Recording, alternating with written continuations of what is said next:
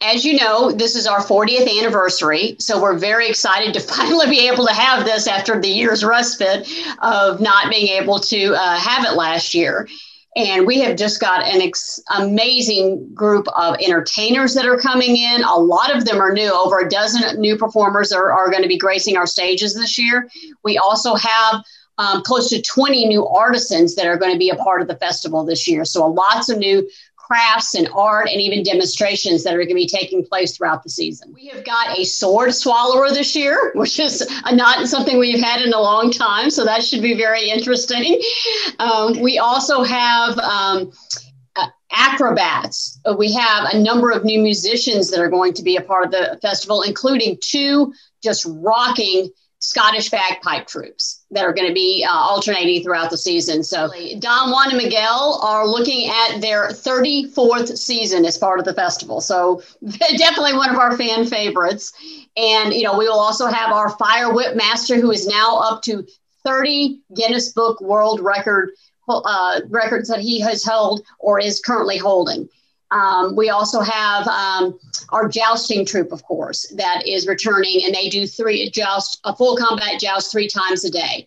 We also have um, Zilch, the Tory Teller, and he is also one of our 30 plus year veterans of the festival and continues to be just a just huge fan favorite. And um, if you have not caught his show, he does what is called spoonerisms. So he tells fairy tales in a very unusual manner. so it is quite hysterical and uh, it is just a lot of fun to watch. Yes, we have hundreds of amazing artisans. And what a lot of people don't realize is that we are one of the largest outdoor juried craft shows in the country. And what that means is we actually go through a review and jury process to choose the artisans that will be a part of Scarborough so that we do not get, you know, too many of one type of craft and that we can really have, you know, the the variety that we offer. Also, we require our artisans to have a at least 80 to 90% of their crafts have to be handmade. We do not allow imports. We do not allow, you know, store bought items. These have to be handcrafted items that they sell out of their booths. Um, and many of these artisans demonstrate their crafts throughout the day. It's everything from blown glass to glass sculpting to pottery to jewelry making. We have a stone carver that just makes amazing things. Uh, we have jewelers. We have two different candle carving and candle making shops. So just a lot of different types of crafts. Plus, these are the types of crafts that you are not going to see in other craft festivals or craft shows and things like that you see they're very very unique in fact we have our own pot tapestry shop um, that show, sells these just wonderful woven tapestries. So again very very unique art uh, that you will find at scarborough.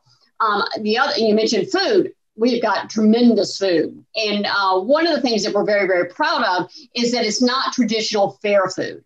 We have our own pasta shop that has a variety of different specials every day of the festival day. In fact, he was uh, featured on Carnival Eats in 2019 for his pasta roses, which are amazing if you ever get the chance to have those.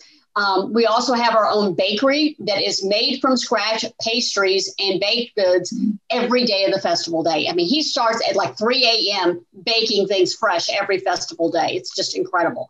But in addition to that, we also have the largest food on a stick selection in Texas. If we can put it on a stick, it goes on a stick. We have everything from chicken to steak to macaroni and cheese to key lime pie and peanut butter pie. So if you can find it on a stick, we have. We have 20 weddings currently booked for the 2021 season.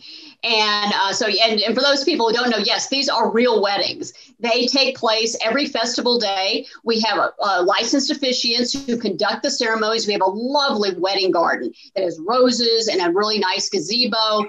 And so you have a very, you know, very sweet uh, beautiful wedding location. Then afterwards, they we have full receptions that take place in our large pavilions. And then once the, the reception's done, people go and get to enjoy the festival day as well. So it's it's a great um, aspect. of that we average anywhere from 20 to 30 weddings every festival season. In addition to that, we have um, big groups that come out. We have birthday parties that come out. And again, we have pavilions and special packages for those folks if they want to do those things. You know, last year was so difficult for everyone from top to bottom. I mean, it, it really was a difficult year.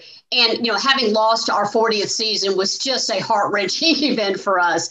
But now that we feel like we see the light at the end of the tunnel for this whole COVID pandemic, we feel like we can give people a little bit of hope and a little bit of being really able to just get away from all the difficulties that, that this last year has, has shown us. And in a lot of ways, it's an even greater celebration than we would have ever expected last year because we're celebrating coming back and we're celebrating getting through this horrible year and getting through all of the challenges that all of us have faced. And so for us, it's, it's an even greater celebration. And to be able to hit this 40th landmark in spite of all this is just tremendously gratifying doing a lot. And um, that was a big part of our decision to continue and go forward with opening the 2021 season. It was making sure that we could protect you know not just the patrons but our participants. We have close to 2500 participants in the festival and that's everything from the artisans to the entertainers to our hourly employees that come from all over you know ellis county and beyond um, so the, you know that was a great responsibility on our part, and so we have decided to do. We're doing temperature checks for everyone, participants, employees, staff, patrons. Everyone will get a temperature check every single day of the festival. We also have, have opted to continue our mask mandate. Um, we feel that is one of the safest ways that we can protect everyone is to require that everyone wear a mask. Uh, of course, there will be exceptions to that for the stage performers who are greater than that six feet of distance where they can be up on the stages and they can be performing without the masks on. But anytime that they get close to any of the patrons and once they can, uh, once their performance is completed, they will be putting masks back on. Um, and again, that we feel that you know based on the CDC guidelines that that is still the safest thing we can do. In addition, we have installed a, a huge number of sanitizing stations throughout the festival site where you can just walk by and grab hand sanitizer as you're enjoying the festival. We have also added a number of hand washing stations that will be strategically placed throughout the festival site. Um, also, we have done a lot of social distancing in our food areas. The tables have been spread apart in a much larger degree to allow for that six foot separation. Our stage areas have also been spaced um, to allow for greater distances. A number of our stages have temporary benches and seating to where we could move those around. Others do not. And so we have um, actually placed barriers so that every other row um, can be used. And so that, again, we can create as much space in between each group of patrons as we possibly can. Of course, our opening weekend is our kids free weekend. So we want folks to know that, you know, uh, all kids 12 and under can get in free. Up to three kids with each paid adult can get in free. And that's ages five through 12. But kids four and under are always free at the festival.